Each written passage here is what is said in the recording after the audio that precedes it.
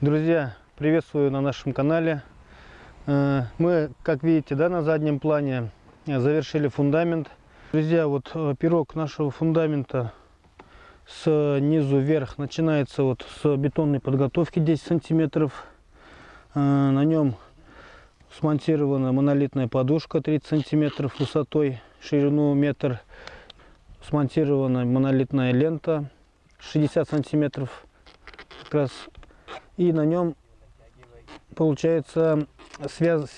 сармирована вся площадь плиты с выпусками ленты и залита монолитным бетоном 12-15 сантиметров армирование в один слой. Э, ячейками 20 на 20 значит сделана гидроизоляция два слоя здесь битумная обмазочная. И сейчас ведутся дренажные работы вокруг дома и давайте сейчас расскажем принцип выбора дренажной системы, по, каком, по каким принципам мы его выбрали. Друзья, значит, э, до того, как начинать строительство, мы здесь изучили грунты, ну, делали геологию, если говорить простыми словами. Э, исходя из вот этих вот данных, то, что у нас дали геологи нам – Эм, на участке, на пятне застройки обнаружена вода на глубине метр пятьдесят. Это на дату на июнь месяц. Июнь месяц.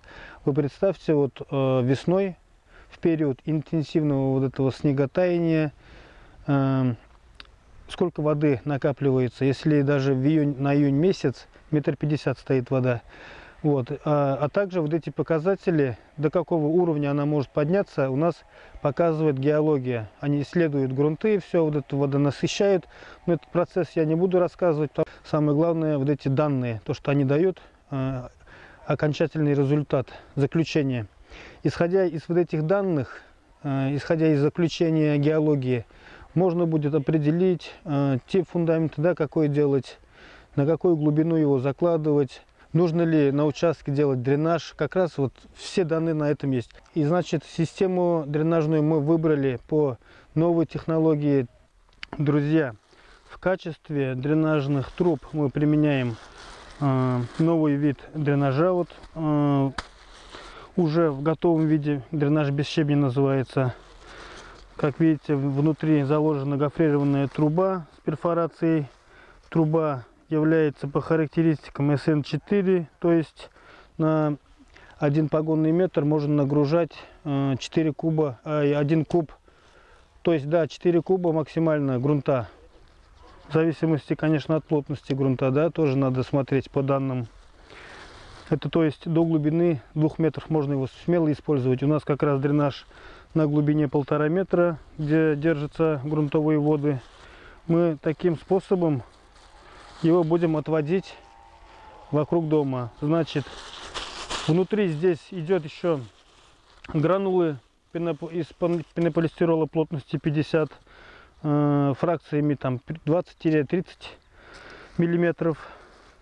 То есть эти гранулы позволяют воде впитываться и уходить через дренажную трубу.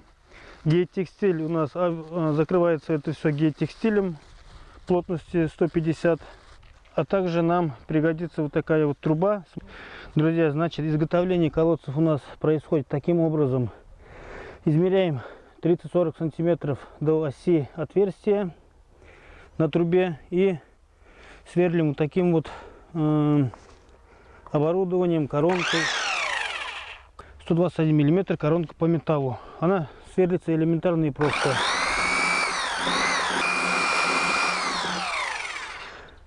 Высверлили отверстие. Одевается, значит, на это отверстие такая манжета резиновая для канализационных труб 110 диаметра.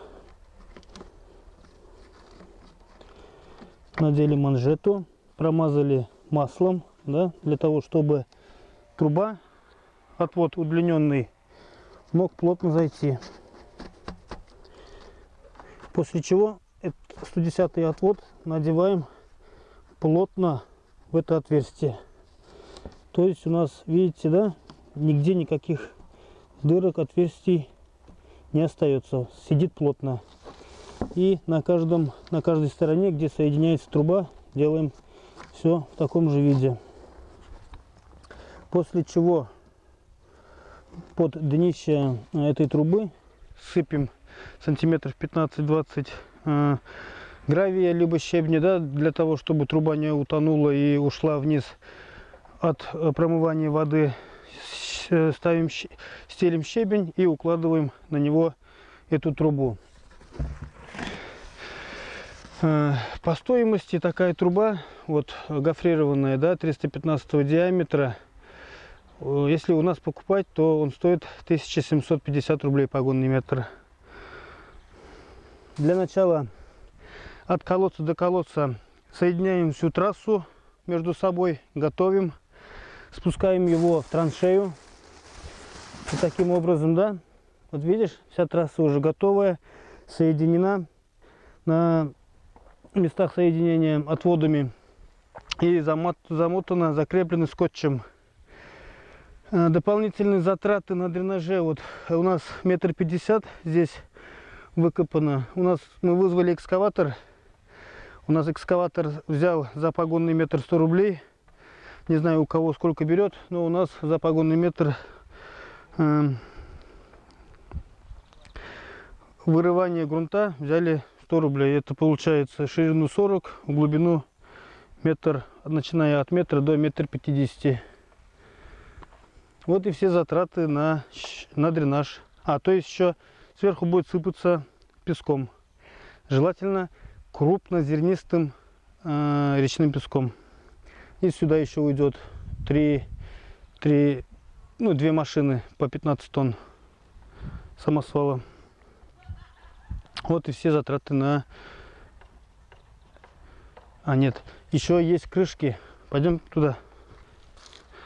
Стоимость дренажной системы без щебня. Э, один погодный метр у нас стоит 600 рублей. Вот и вам в целом дренажная система. 2 метра колодец, э, каждый метр 1750. Э, трасса водоотведение, да, дренажная, дренажная труба 600 рублей погодный метр. И дренаж готов. Аккуратно, тебе нельзя, тебе отмывать.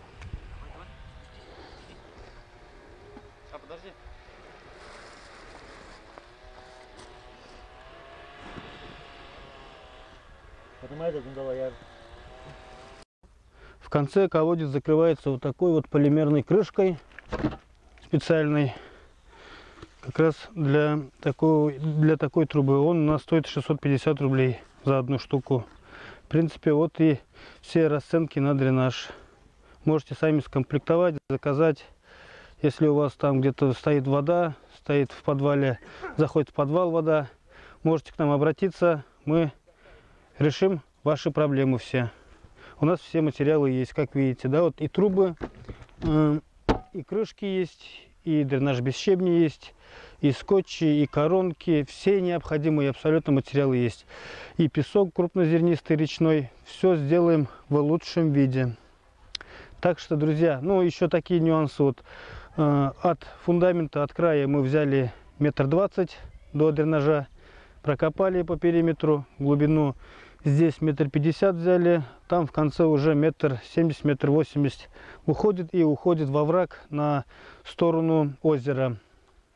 То есть вот такие вот моменты. То, что мы здесь э, смонтировали после монтажа фундамента. Дальше закопаем обратно речным песком крупнозернистым, разровняем, затрамбуем и начнем уже укладывать кирпичную укладку. Если вам понравился этот выпуск, ставьте лайк, пишите комментарии. Где-то, может быть, увидите какие-то нюансы, да. Пишите ваши вопросы, с удовольствием напишем, ответим. Если нужна система дренажная, приходите к нам, звоните,